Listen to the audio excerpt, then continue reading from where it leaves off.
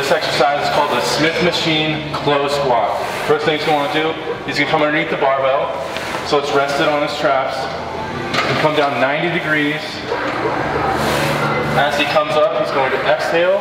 As he goes back down, he's going to inhale. When he comes up, he's going to thrust forward with his hips and squeeze his glutes. The weight is going to be on the back of his heels.